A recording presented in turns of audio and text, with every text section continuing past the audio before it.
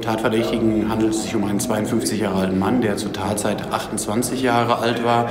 Er hat damals in Castro-Brauxel, also in der Nähe der Auffindeörtlichkeit, gewohnt.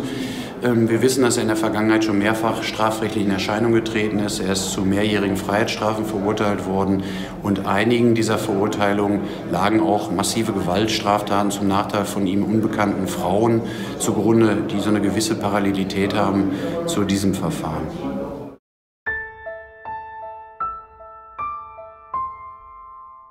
Sie lag in einer Rettungszufahrt zu einer Grundschule in Dortmund-Rahm. Es war augenscheinlich, dass sie Opfer eines Gewaltverbrechens geworden ist.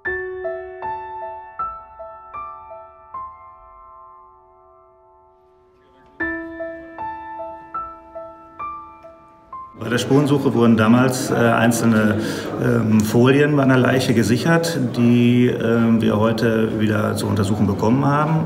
Wir haben äh, an diesen Folien den sogenannten Einzelschuppennachweis angewandt und bei der Untersuchung dieser äh, einzelnen Schuppen konnten wir dann äh, tatsächlich ein DNA-Muster äh, gewinnen, das wir ähm, später einer Person, dem jetzigen, an den jetzigen festgenommenen Person zuordnen konnten. Wir haben ihm gesagt, dass er, ähm, dass er vorläufig festgenommen ist wegen des Verdachts des Mordes an Nicole Denise Schaller. Eine ganze Weile hat er im Grunde mich starr angesehen, kaum eine Regung gezeigt und dann irgendwann gesagt, er hätte keinen Mord begangen.